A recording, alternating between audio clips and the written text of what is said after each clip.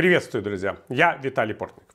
После того, как лидер террористической организации Хезбалла Хасан Насралла в своем обращении к боевикам пообещал отомстить Израилю за блестящую операцию с подрывом связи боевиков, Израиль был э, на следующее же утро обстрелян более чем 140 ракетами с территории Ливана. Пока что не сообщают о размерах ущерба и о пострадавших э, в ходе этого мощного обстрела. Однако мэр э, города Митула, находящегося на границе с Ливаном, уже сказал о серьезном ущербе, нанесенном этому цветущему городку. И понятно, что Митула это отнюдь не единственное поселение на севере Израиля, которое подверглось такой массированной атаке. Впрочем, и израильская армия обороны нанесла серьезный удар э, по э, позициям боевиков Хизбаллы, опять-таки ответив ракетными ударами по позициям террористической организации на юге Ливана. Эта ситуация вновь напоминает э, о возможности более серьезной эскалации в ближневосточном регионе.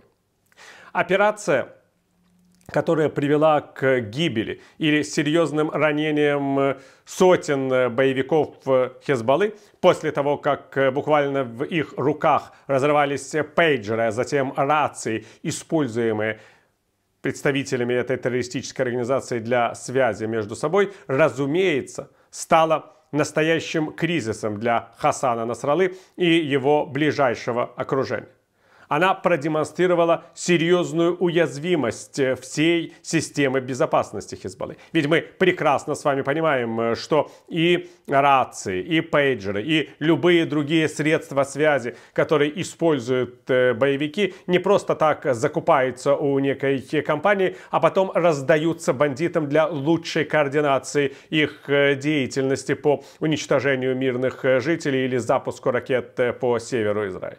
Перед этим все эти средства связи проходят тщательнейшую проверку и на наличие э, в них э, возможной взрывчатки, и на наличие возможных э, жучков, которые позволили бы прослушивать переговоры представителей Хизбаллы между собой. То есть служба безопасности Хизбаллы проводит все те необходимые действия, которые проводит любая специальная служба перед тем, как выдать технику своим э, военнослужащим или боевикам.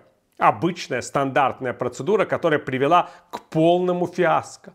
Представители специальных служб Хизбаллы, а это значит, кстати, что и представители специальных служб Ирана, которые курируют эту террористическую организацию, нередко называемую прокси-армией Исламской Республики, не обнаружили в буквальном смысле слова ничего в том э, грузе, который э, предназначался для раздачи боевикам Хезбаллы. И в результате мы увидели на протяжении не одного, а нескольких дней специальную операцию, которая привела к серьезному поражению террористов.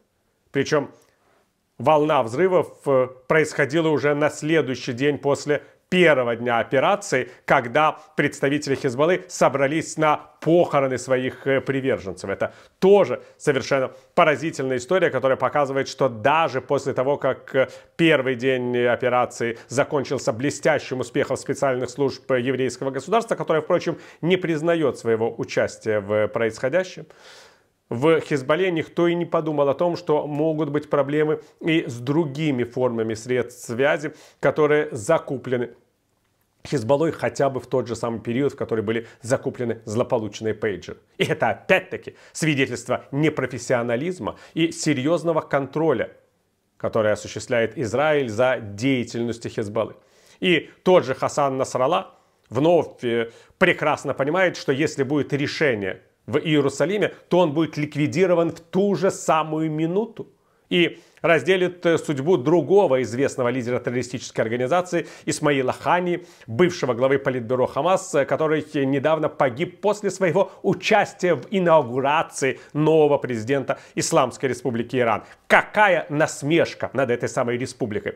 Насмешка в Тегеране, насмешка в Бейруте, возможно, вскоре будет насмешка в Дамаске. И руководству Исламской Республики, как и руководству Хизбаллы, придется расписаться в поедке полной неэффективности, что, впрочем, обычно и бывает в специальных службах э, тоталитарных э, государств, где главное – это лояльность, а не эффективность. Вот эта самая история с лояльностью, с отбором преданных людей и сыграла злую шутку и с Хамасом, и с Хизбаллой, и со многими еще сыграет.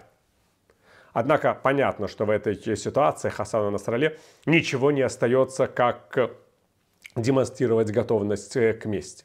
Выступая перед э, боевиками Хизбаллы из э, своего закрытого убежища, а Насрала практически никогда не появляется на публике, боясь ликвидации, но кажется, сейчас эти меры предосторожности для него являются совершенно излишними, он может быть ликвидирован там, где находится. Насралла признал тот значительный ущерб, который нанесла операция его террористической организации и заявил, что Израиль пересек все красные линии сосуществования. Так, как будто систематические удары со стороны Хезбаллы по мирным городам Израиля на севере этой страны не являются пересечением всех э, красных линий взаимодействия.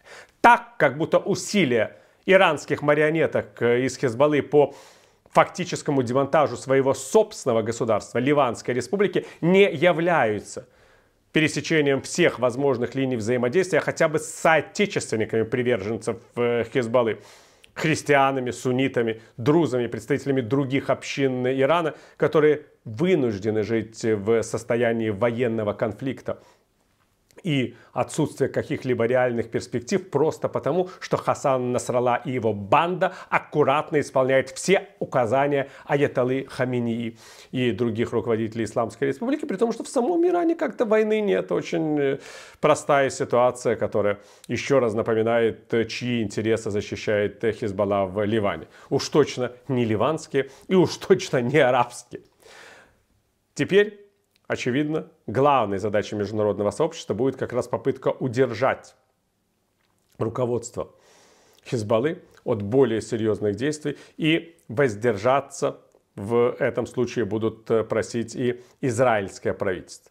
Потому что начало тотальной войны в Ливане может быть э, кошмаром для администрации Джозефа Байдена в последние месяцы пребывания Байдена на посту президента Соединенных Штатов. Байден хотел как раз бы умиротворения в регионе, сделки, которая приведет к освобождению израильских заложников и недопущения войны в Ливане.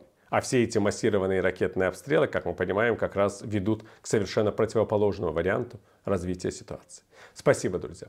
Оставайтесь на этом канале, подписывайтесь на него, подписывайтесь на мои социальные сети, на канал в Патреоне Баймия Кофе, который помогает развивать эти ресурсы. Пользуйтесь функцией спонсорства в самом YouTube. Мира вам!